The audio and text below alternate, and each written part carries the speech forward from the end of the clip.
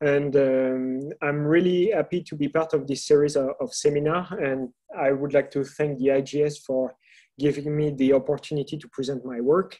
So I'm going to present the work that I've been do doing during the last two years of postdoc at IG. And so we are going to talk about ice velocity and thickness mapping of the world's uh, glaciers. Okay, so first I would like to acknowledge the people uh, that I've been working with at IGE and uh, in the US, uh, without whom this work would not have been possible. Um, I also would like to thank uh, the French Space Agency for funding uh, these two years of postdocs and um, and also the uh, National Research, A Research Agency of France that funded the SOS ICE project. Okay.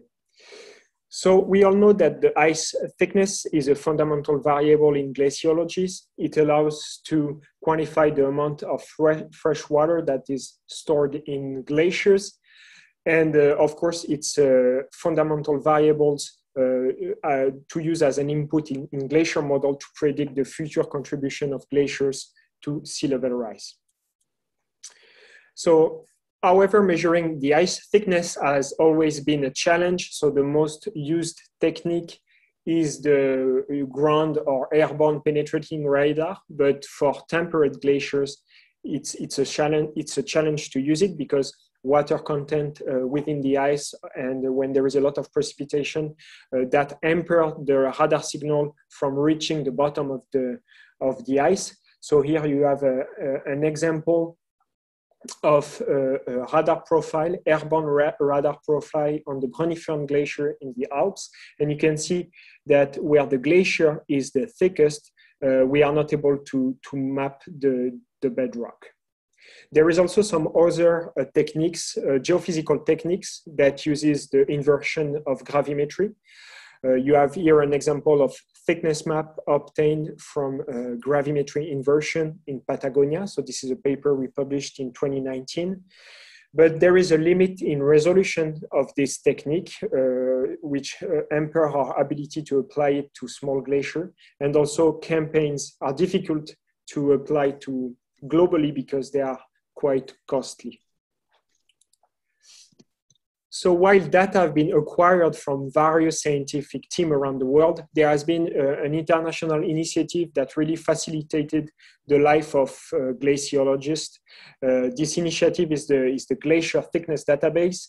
So um, it's uh, an inventory of all available in situ ice thickness measurements of glaciers around the world so on this map you can see in blue the contours of the gla of uh, mountain glaciers. And um, in uh, green you have points where we have uh, uh ice thickness measurements. So you what is striking is that still there is some areas highly glaciarized area that have not been measured yet. Uh, the most striking example is the himalayan range and the russian arctic where no data are publicly available yet. So in response to this lack of data, there has been an increasing development of inversion approaches to calculate ice thicknesses at the scale of entire glaciers, which was crucial if we wanted to model properly their future evolution. So method, uh, the methods started with simple approaches, such as uh, area uh, volume scaling, you have here an example of this relationship uh, from the Bahr 97 paper. And some other approaches, uh, for example, use uh, the shear stress approach, which only needs a DEM as an input.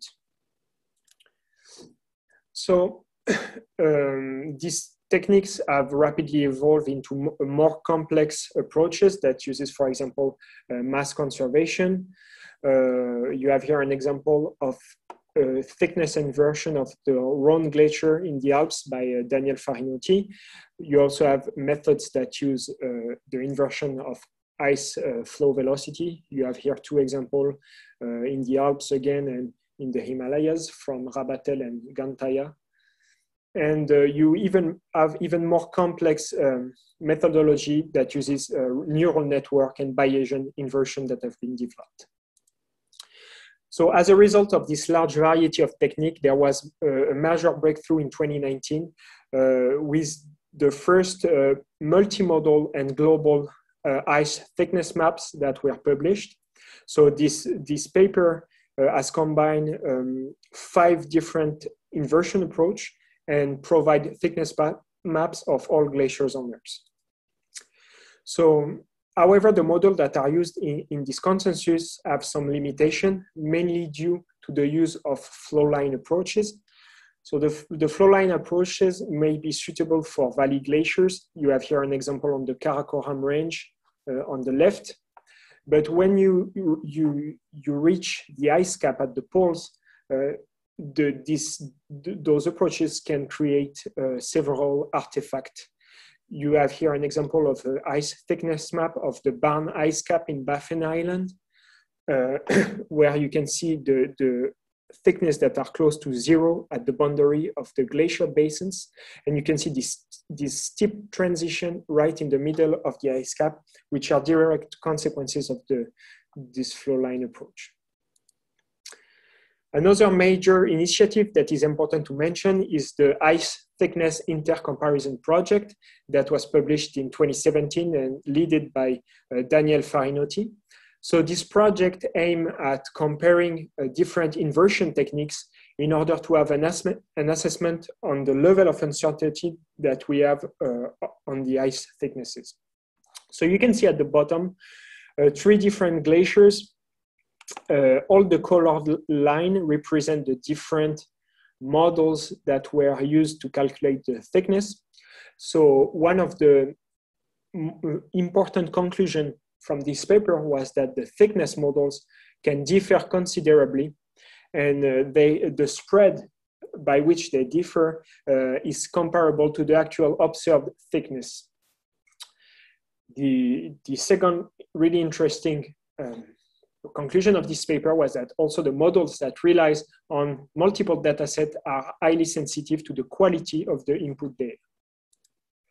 So what do we need to calculate ice thicknesses? So we need a digital elevation model. There has been a, a lot of progress with this. Even though we don't have precisely time tag DEM, we, we have a global coverage, uh, for example, with the TanDEM-X DEM, the Aster DEM, um, we also need surface mass balance. Uh, this is a challenging, uh, a challenging one, uh, specifically uh, getting high resolution surface mass balance for a mountain glacier is, is particularly uh, difficult. We need elevation change. So this was also um, difficult to get, but recently with the publication of the Hugonet et al. 2021 paper, we, we have uh, uh, really a, an amazing coverage of uh, surface elevation change uh, with uh, surface elevation change spanning the years from 2000 to present. As I said, we also need in situ, of course, high thicknesses. Uh, so some regions desperately need some of this. And finally, the, the data I will be interested in this presentation is the ice velocity. So by definition, the ice velocity uh, gives uh, a crucial information on the distribution of the ice thicknesses uh, across a glacier. But uh, due to the lack of measurement with sufficient resolution or quality, this data have not been uh, widely used in ice thickness inversion. You have here uh, a coverage map of the ITS-LIVE data, data set. And you can see that there is still some big regions that are missing. For example, the, the glaciers in the Andes, the Alps, uh, Caucasus, and, uh, and New Zealand.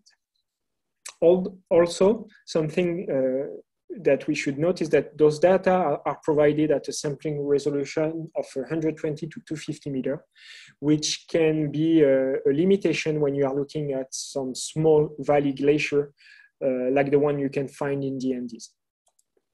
So the goal of this project is to provide a new global coverage of glacier surface flow velocity at a resolution that is sufficient for glacier modeling and to um, and also for the study of the ice dynamics. And the second goal is to use this new product to, pro to provide a new estimation of global, global ice volume uh, based on the ice velocity inversion. So at IGE, we developed a new uh, automatic processing chain that has the capacity to calculate ice velocity at the scale of entire mountain range. So this pipeline was developed for the latest generation of satellite images. So we use optical data from Sentinel-2, Landsat 8, and locally, we also have some higher resolution uh, sensor. We have the French-Israeli satellite from VENµS, which requires data at five meter resolution. And we have the Play, Pléiades imagery, which requires data at a resolution of 50 centimeters.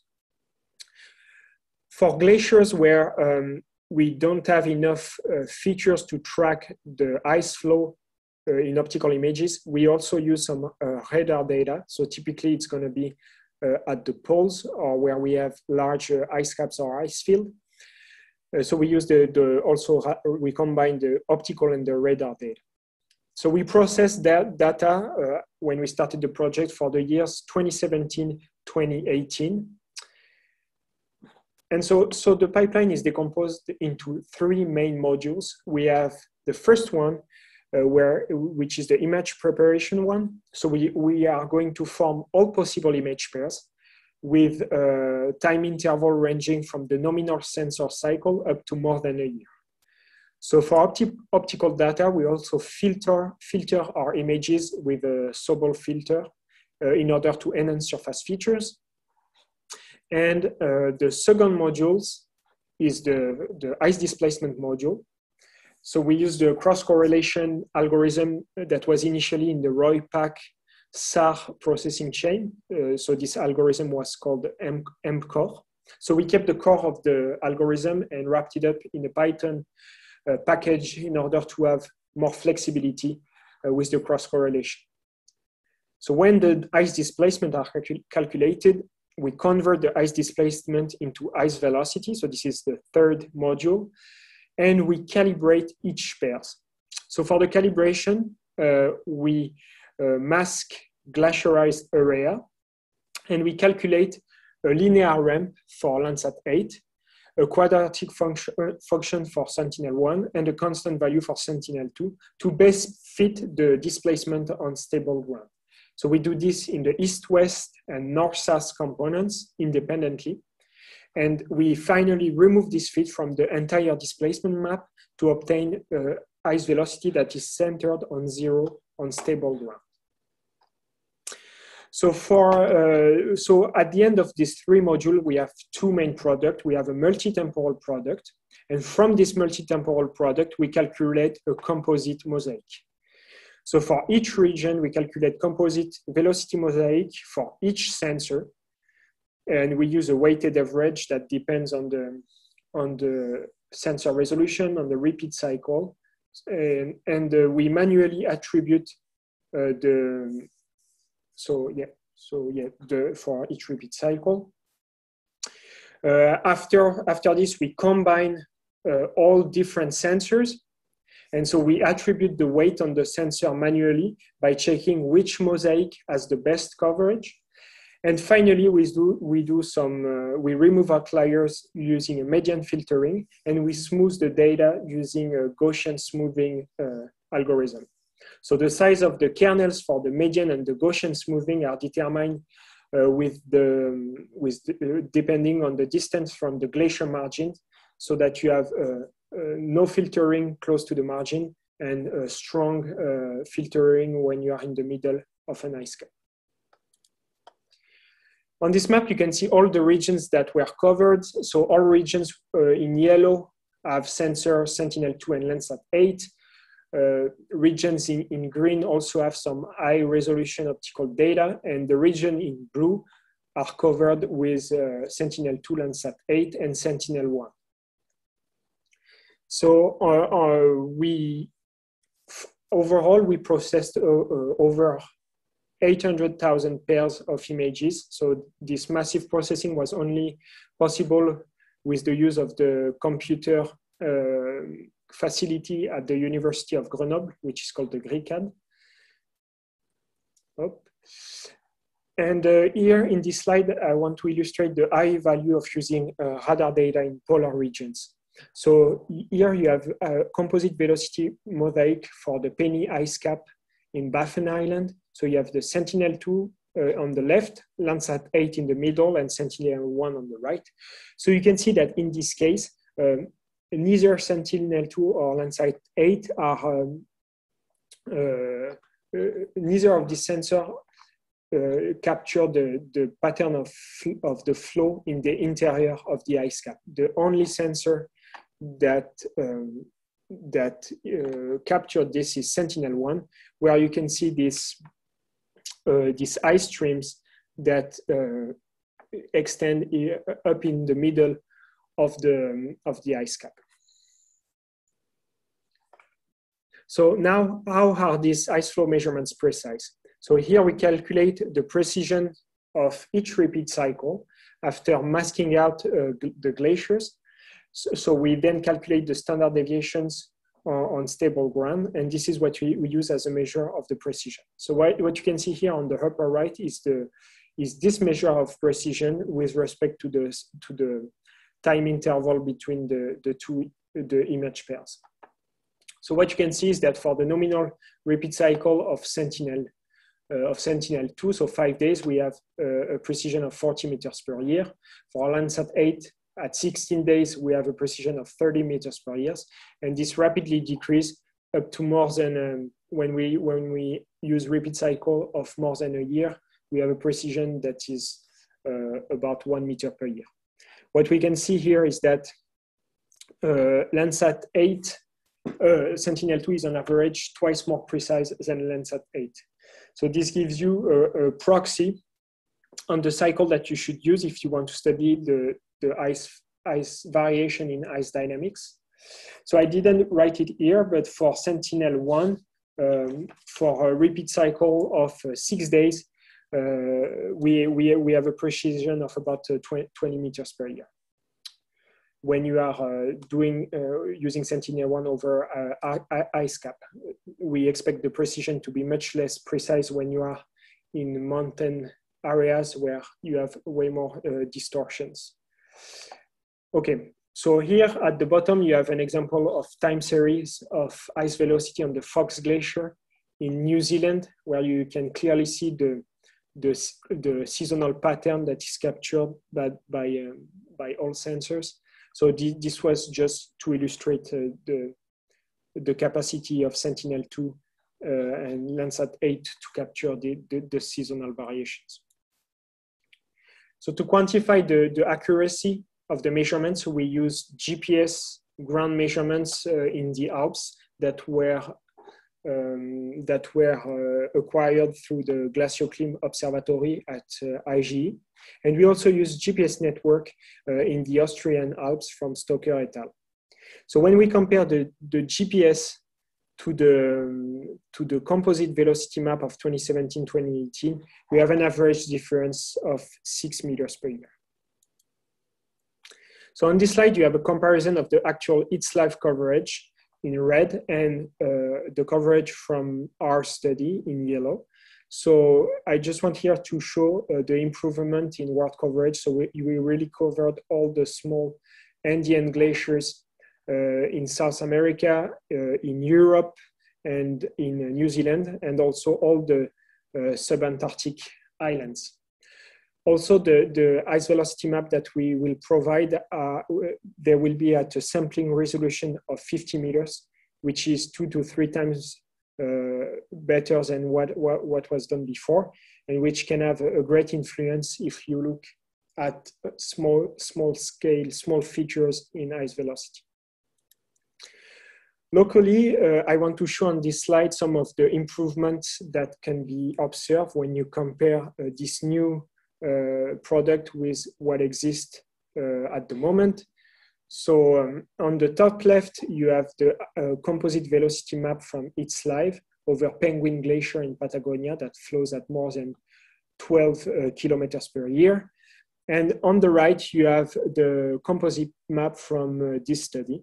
So you can see here uh, the high value of combining three different sensors uh, including radar data, which uh, really allows to capture this uh, the, the complete pattern of ice flow, uh, which was not uh, present in previous mapping. At the bottom, you have another example over smaller glaciers in the Himalayas, uh, close to the Everest region. You have the Khumbu Glacier here, and the, this famous ice fall there, which is quite narrow. And here you can really see the benefit of using a, a smaller sampling resolution in the cross correlation, where we are completely able to, to capture the, the full uh, increase in ice velocity over this ice fall. So now let's take a little tour uh, around, the, uh, around the world of the composite map that we calculated. So I'm starting here with some glaciers uh, in the uh, Cordillera Blanca in the Andes. So you have the, the Raimondi glaciers, uh, one, two, three, that are flowing on really steep slopes. So those are really small glaciers, not uh, only a few kilometers long, uh, flowing on steep slope at more than 300 meters per year. So really impressive uh, glacial features. here you have the Mont Blanc on the Italian side. So the Mont Blanc summit is here, and here you have the, the Miage Glacier, which is a, a debris-covered glacier with uh, three um, uh, narrow tributaries that flow on the Miage Glacier at, at speed of more than 300 meters per year. And here you have some, some glaciers in, in the Kamchatka regions. So the Ushkovsky uh, mountain range with this really um, amazing ice tongue of more than eight ki kilometer long that is really narrow flowing down of this uh, volcano. This is a composite mosaic of the Cordillera Darwin in Chile. So we are really proud of, of this, the coverage of this region because it's a really challenging one that is most of the time covered in clouds. So you can see that the composite map is not perfect. Uh, we have some holes here that you can see, but still we, again, combining the, the different sensor helped us to have the, the most complete uh, mosaic that we could, that we could assemble. Here we, we make a, a step up in terms of, of scales. So you have uh, the Alaskan glaciers, so um, Barnard Glacier and Chitina Glacier here. So we're really an amazing network of uh, tributaries. You, you have all kinds of glaciers, small, small valley glacier and this large, large uh, ice, ice flow that uh, features that can be observed. And finally, here we have the Patagonian ice field, so the southern Patagonian ice field, with Viedma, Upsala, and Pio 11 Glacier. Uh, we are also really proud of this new map because it's also a really challenging region. It's really difficult actually to cover the interior of the, of the ice field. Um, there is not many studies that have succeeded in doing this. And here really the, the key, I repeated it, I repeated, but is to combine radar data and um, optical data and really uh, use a, a, really fine post-processing to combine these different data sets. Okay, so now I'm gonna move to the ice thickness calculation part. So now the goal is to use this uh, new ice velocity product to calculate ice, the ice thickness distribution of all glaciers on Earth. So we use a simple approach that is based on the shallow ice approximation, which connect the thickness here to the surface velocity and the, and the surface slope. So we, we take a, a n exponent of equal to three. Uh, we have the a, the creep parameter that, uh, which I'm going to talk about more later, and uh, the slope here. So if we solve for h, we have these equations at the bottom. And so here we don't use uh, a glacier by, by, glacier approach as it was classically used uh, in the consensus estimate, but we invert the velocity regionally to directly get a regional uh, ice thickness map. So the first step is to calculate surface slope. So to do this, we combine three different DEM sources. We combine the Aster uh, version 3 uh, global DEM, the TanDEM-X DEM, and in the Arctic, we use the Worldview Arctic DEM that was obtained from digital globe imagery. So we combine, uh, in Valley Glacier, we combine the Aster and the TanDEM-X DEM using the DEM roughness. So basically we, we combine the DEM so that we have the a, combined DEM with the lowest uh, roughness. And then we calculate the slope. And finally, we also filter the surface slope uh, and smooth it using a, a Gaussian kernel uh, with, with no smoothing when you are within 150 meters from the ice margin, and the smoothing that increases when you, you move away from the, the ice margin. So you have an example here on the glaciers in Spitzberg with on the left the unsmoothed surface slope, and on the right you have the, the result of, of the smoothing. So we, with this, we really uh, uh, preserve small, small scale uh, tri small tributaries, small glacial tributaries. So after calculating the surface slope, one of the most important steps is to calculate this creep parameter. So to do this, we use um, in situ ice thickness data from the glacier thickness database. Uh, so we solve uh, the equation for A, uh, as you can see here, and uh, H is now the in situ ice thickness data. So we, as I said, uh, we um, the Himalayan range is missing a lot of data, so we specifically specifically on the on the main arc. So we also uh, got some data from the GLACIOCLIM Observatory and from other uh, radar campaign that allows us to have few measurements on, on three different glaciers along the arc that helped a little bit in calculating this creep parameter. So once we have all, the, all this data, we divide our regions into small boxes, uh, as you can see here, uh, that are uh, defined depending on the on the in situ data that are available. And inside these boxes, we calculate an average A and we do the, the inversion over the, the, the entire boxes. Other in situ thickness data that we used are the data from uh, that I mentioned earlier that were obtained from the inversion of gravimetry and uh, radar data. So you have the gravimetry here on the left and uh, the radar data on the right. So those data are available at NSIDC if anyone is interested. Finally, we have, uh, after we calculated the A, we are still left with this beta parameter. Be this beta parameter gives the, the amount of internal deformation that causes the difference between the surface velocity and the basal velocity. So actually, we, we have strong limitation when the sliding becomes dominant with the shallow ice approximation.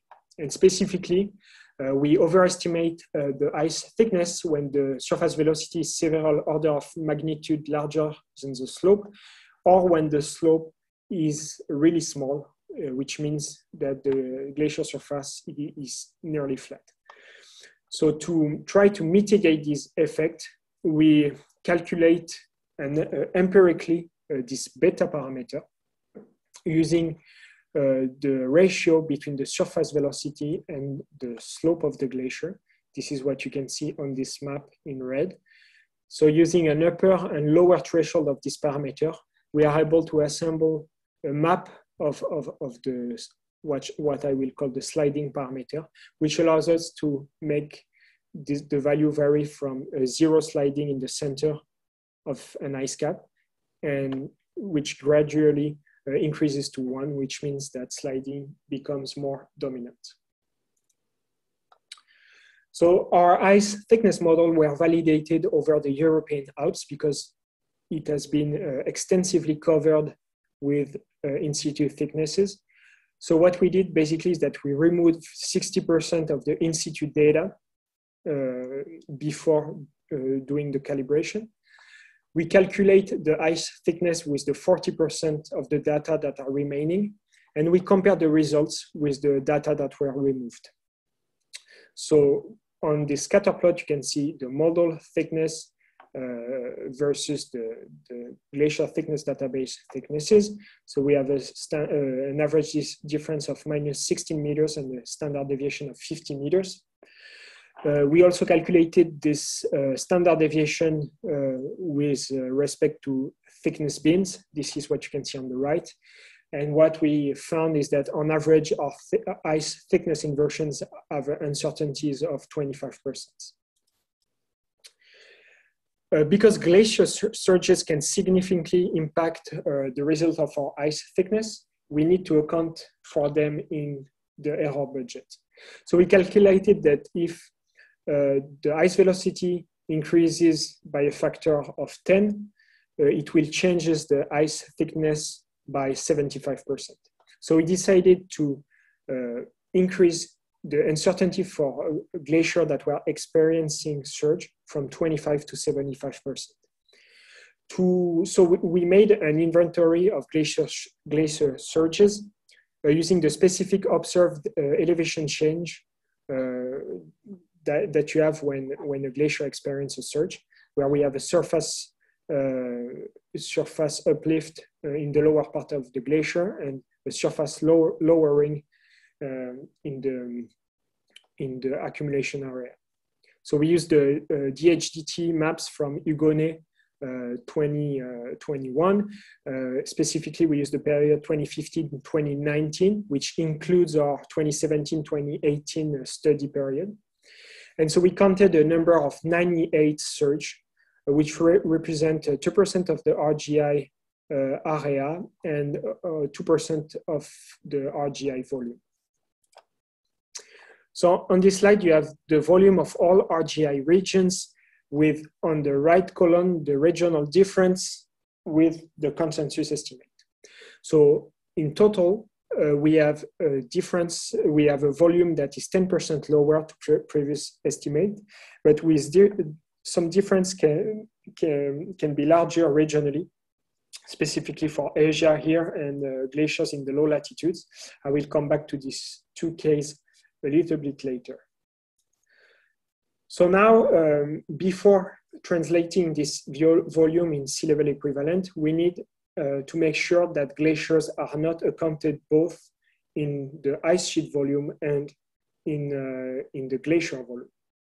So for Greenland, previous studies um, remove glaciers that have a degree of connection greater than two as defined by the Randolph Glacier inventory but there is no uh, information on the level of connection in Antarctica. So we attributed this level of, of connection following the, the example of Greenland to uh, glaciers in Antarctica. And we removed uh, uh, uh, all the glaciers that, are, that, that were connected to the, to the ice sheet. So here you have an example in West Antarctica.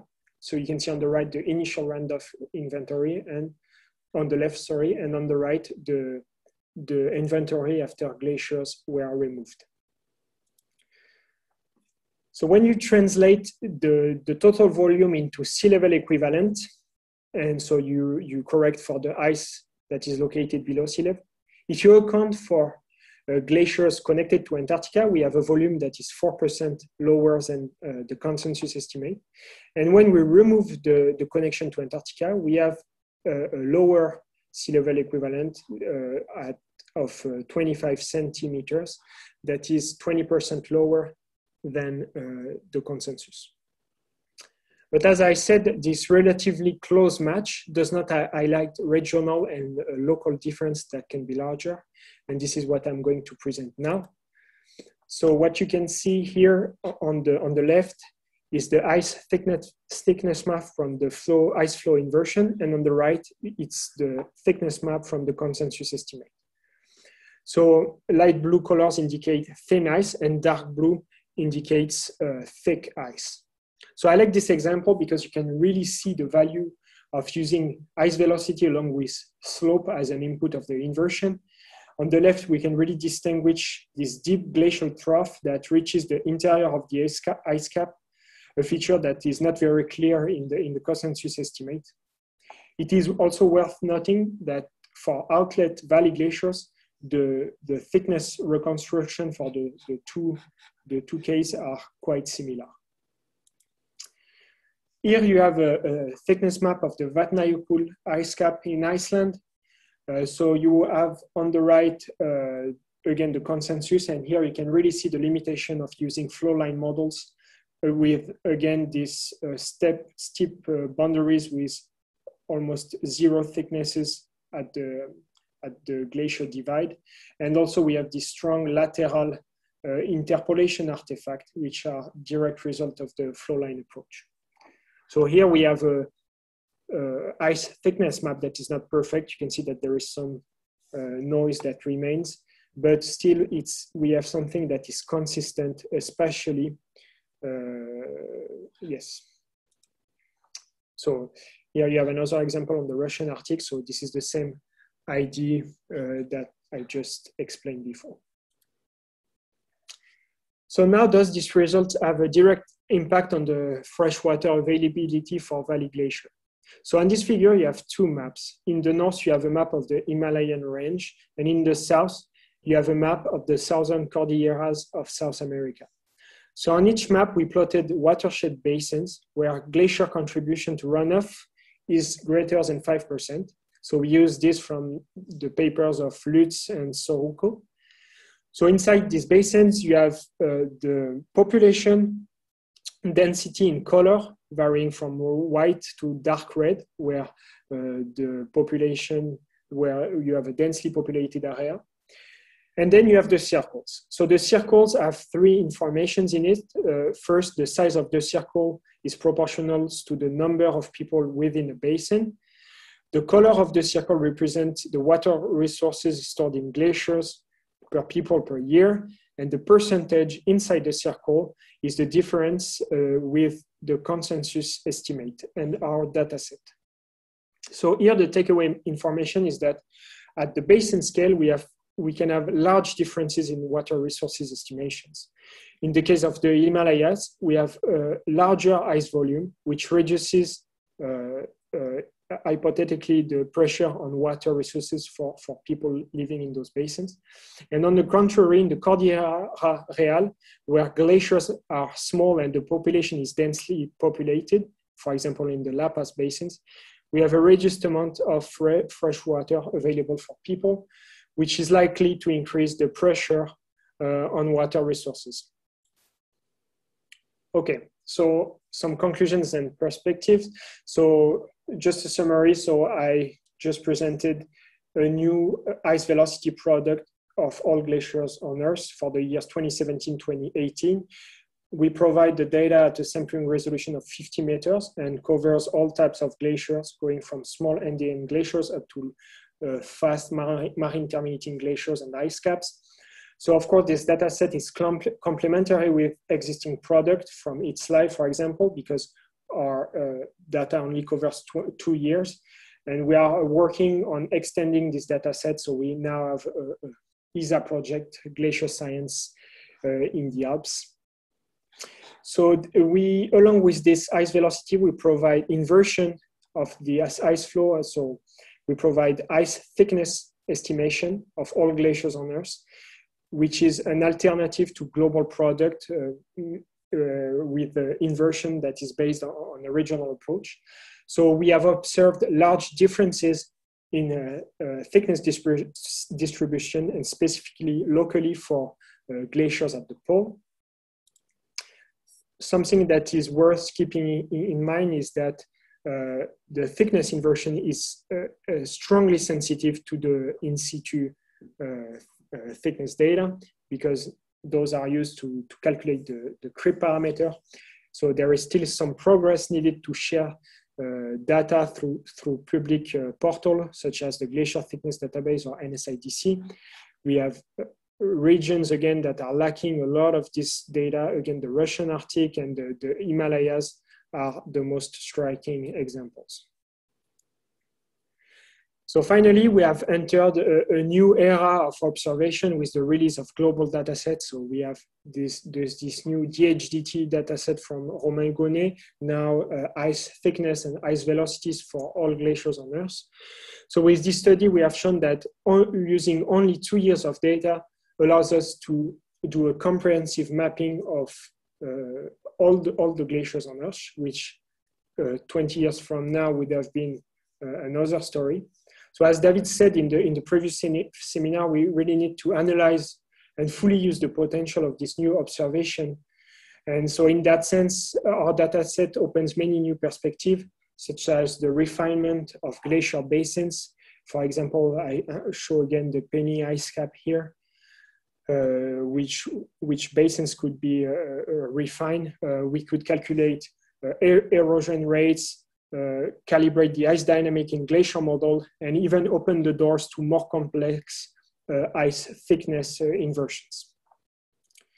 So thank you for your attention and um, uh, you are welcome if you have any questions. Fantastic. Thank you very much for uh, your um, seminar tonight and uh, the explanation of what an incredible data set. Um, we already have one question on the chat. Um, Trevor, do you want to unmute yourself and uh, ask your question? Okay, uh, thank you, Tavi. Um, yes, I, I think an amazing data set, and presumably using GPR, you could detect the difference between cold ice and warm ice. And I'm very interested to know what is the maximum thickness of cold ice uh, that you have observed in the in the database? Um, so it's so I, am not, I, we, I didn't do this analysis specifically to to detect. Uh, so I, I, don't really know where is the uh, if if there is existing maps of cold and, and, and warm ice, but the the one of the thickest uh, thicknesses that we, we have seen are located in, in, in Patagonia, for example, with, um, uh, with the Viedma glaciers, where you have uh, thicknesses uh, that are 1,300 uh, meters. Uh, yes, so I, I, don't, that may not, but that may not um, reply to, to, your question, to your questions. Okay, well, well thanks. Um, I, I, just guess that um, perhaps you could use this method to to tell us about how the the, um, the cold ice and warm ice boundary does vary across glaciers across the planet. Oh yeah, yeah, yeah, yeah. Yeah, you mean uh, you mean with the with the creep parameter, with the for example with the calculation of this creep uh, parameter? Well, I'm not sure how you would do it. But, uh, yeah, yeah, that would, that would be. I just suspect you have the method now to be able to do yeah, it. Yeah, yeah, yeah, yeah. That's something that that that we, we would need to to explore. Yeah, as I said, this opens the door to many to many applications. So we have a project now uh, to calculate uh, I, this is on a complete, uh, on a different subject, but to calculate er erosion rates. Uh, we also have yeah. some co collaboration to uh, use the ice flow to re-estimate uh, uh, surface the surface mass balance. Mm. So, yeah. Yeah, sounds fantastic. Thank you very much. Yeah, thank you. Paco, do you want to unmute yourself and ask your question? Yeah, hello. Uh, well, it was nice talk. was it's really a tremendous amount of work. Of course, a big step forward. But I'm particularly uh, particularly concerned or worried about one one aspect, or maybe a few related ones, uh, mm-hmm. but all related to the same thing. Is the fact that you have used only this 2017-18 uh, data when we know that there are uh, large interannual variations of uh, in surface velocity, especially for sea terminating, for water glaciers. Mm. So uh, the fact that you are using data from one year or the other can imply really huge um, differences in the velocity. Even yes. you have your thickness inversion, which is based on uh, velocity data. Mm-hmm. That means that if all other uh, data, for instance, uh, surface slope and so on, do not change, but you have big changes in uh, mm-hmm. Uh, interannual velocity, yes. Uh, then you will have, of course, variations in eye thickness, which can be quite large. And then yes. also related to this, uh, I will just give just three comments and then you can answer. Yes. Then also the fact that you calibrate the A factor and also you have this uh, beta, parameter uh, in the flow law using the observed thickness, uh, probably this observed thickness will come from a different year. So you will be calibrating the rate factor that you are using for the inversion using data from uh, a different setting. And then all of these things together uh, make me feel worried about the, the results. Or, I mean, a, a huge effort has to be done with the error analysis uh, to include the what would be the influence of the interannual variations of mm-hmm. surface velocity. Mm-hmm.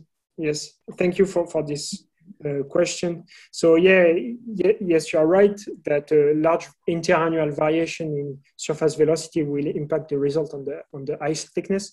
So we use uh, so for so we use the two years of data and we uh, we make an average uh, mosaic of the velocity over these two years. So we suppose that the variations during these two years should be uh, should the, the interannual variation should should become a, a, little bit compensated. But of course, if you have a glacier that has been accelerating for several years, this will of course impact the ice velocity. Uh, so this is what we try to, to do, and we try to mitigate our error budget by accounting for surges, for example. But uh, uh, you are right, this is very difficult. Maybe with the amount of the, the increasing amount of observation, this, this, will, this will help. And concerning the A factor, yes, we, uh, so you are right. Also, we calibrate with in, in situ eye thickness data those data, most of the time, uh, for a lot of them, we don't have years. So we just take whatever we can to calibrate the, the data. So of course, it would, it would be the best if we have precisely time tag uh, uh, thickness data, but this is not the case. And if we remove the data that don't have date, then there will be almost no, very few glacier covered and yeah, this is a, a, big problem. Also, yeah, you have the time change in velocity. You have the DEM that are not exactly time tagged at the same uh, time as the ice velocity. And then you have a mismatch, temporal mismatch with the in situ ice thickness data. So yeah, the, this product is, far from, from being perfect. So we just hope that this will, this new data set will just open new doors and uh, bring people to use it and explore it and do even do some even more complex inversions of thicknesses. Thank you. Thanks. Uh, Felix, um, do you want to ask your question? Hi, hi, Roman. Can can you hi. hear me? Yes.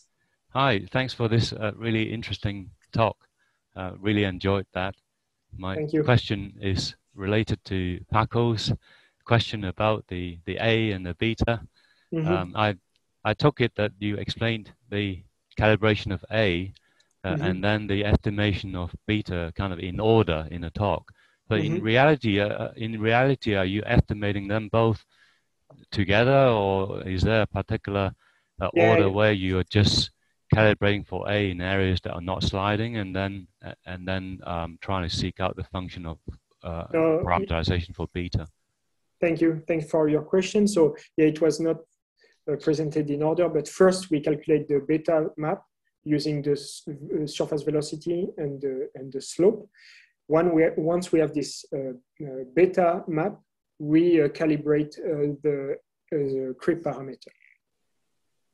Okay, thanks. Thanks for the clarification. Thank you. Forrest.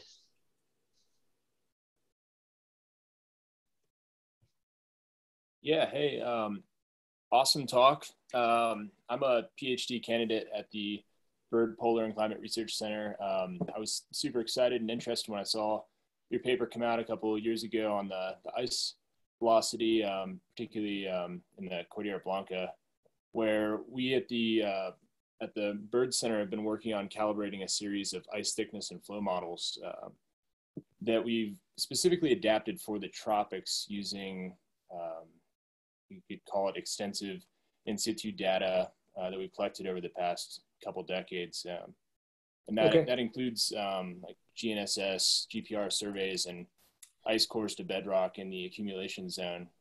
Um, we've, we've been having a hard time uh, pa- parameterizing some of these, um, like I guess working with some of these specific parameters that other folks have brought up in the in the Q and A here, um, that you mentioned in the in the chat. And um, I mean, even with a lot of the these in situ data, um, I guess I'm just curious. Uh, maybe I missed this in your chat, but um, I saw that you said the data will soon be available. Um, I was curious if you could um, say anything more about that. I'm, we're, we're, very much looking forward to comparing some of our um, mm-hmm. our measures. Okay. And uh, yeah, anyway, just really curious about that. Thanks. Yeah, yeah. Thanks for your question. So at this time, the glaciers, the the paper, we have a paper in uh, in the third round of revisions. So we we hope it will be out soon. And once the paper is out, uh, the the data will be published on this uh, on this portal, the, the Theia portal, which is the same as the data set from uh, Romain Hugonnet. So we hope that this will be in the coming months. But, but the, the review process has lasted for uh, quite quite a long time, so we never know. But we hope it will be within the months. May, may I ask, just as a follow up, what about the um, the data used to produce the graphics in the remote sensing uh, paper from yes th- those those data are available. You, you you can write to me and i will i will send them to you. Awesome. Thanks so much. Yeah thanks um, andre do you want to unmute yourself uh, and ask a question or is it uh, should i read it out typed so i i can read it uh, so Hi Romain, have you a chance to compare your velocity data with the recently reiterate velocity data set based on Sentinel-1 from 2014? So is this the, this is the paper by uh, Matthias Braun? I, maybe? Yes, it is. Yes, it is.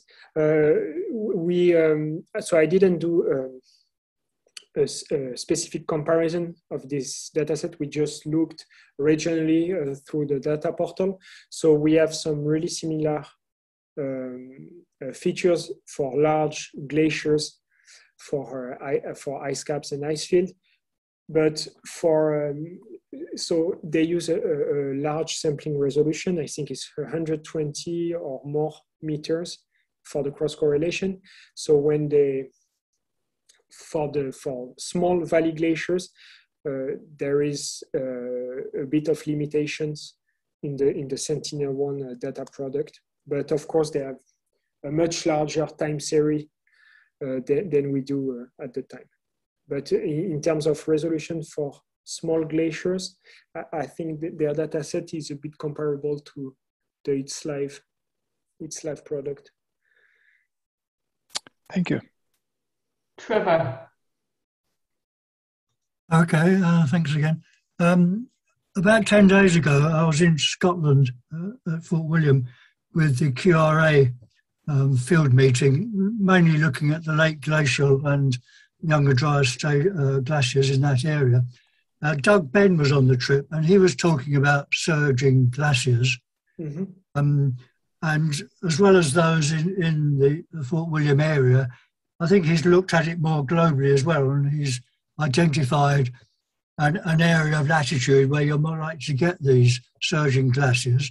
Okay. I think he said that they occur when you have a rather uh, shallow slope on the glacier surface. So I think it'd be quite interesting for you to, to read oh, the paper, which is in the Scottish Geographical Journal, number 137 Okay. 2021.